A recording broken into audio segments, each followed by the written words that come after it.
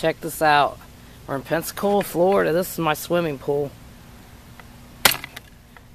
Check it out. Ice.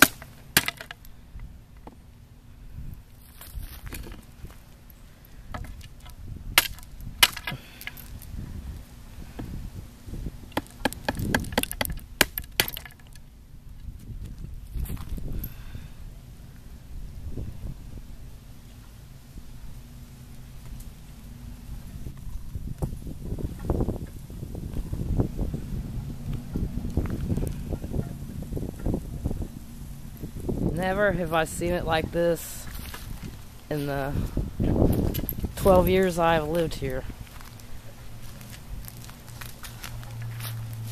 It got down to 19 degrees last night. Tied the record low.